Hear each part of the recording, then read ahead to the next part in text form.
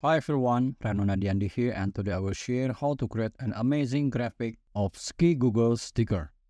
I will use YouTube thumbnail size here and then go to element, find a graphic of ski Google illustration and then place it here, increase the size, change the blue to white.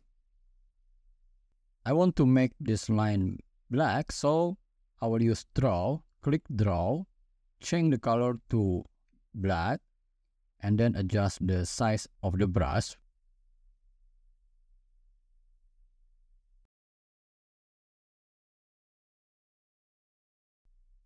And then download it as PNG.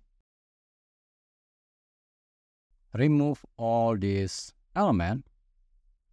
Upload the PNG here. I'll change the page to other color select the PNG and choose BG remover, increase the size, and then I will upload the image that I will insert to this Google. I will use this one, send it to back. I will reduce the size, and then I will add an element of white gradient, this curve. I will reduce the size to make a glass light effect. I will place it here. Duplicate and I will place it here. Change the background back to white. And then use draw. Change the color to white. I will increase the weight. And then brush it here to cover all the outer part of this photo.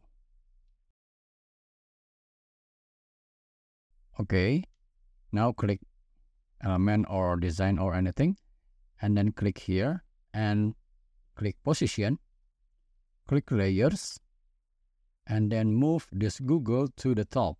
Now download it as png we will keep this page one like this so we can change it to other images. And then i will add a new page upload the png of page one here choose BG remover to remove all white colors outside the Google. Okay, now I will increase the size and then I will change the background to other color like this gradient. Now select the Google again. Go to edit. Choose shadow. Choose outline. Change the color to white. You can add the size to make it more thicker. And then back and scroll down choose image upscaler and then click four times and click upscale. Now click replace. Click go back and then click edit. One more. And then click shadow and choose drop. Alright now you have it. See you next video and have fun with canva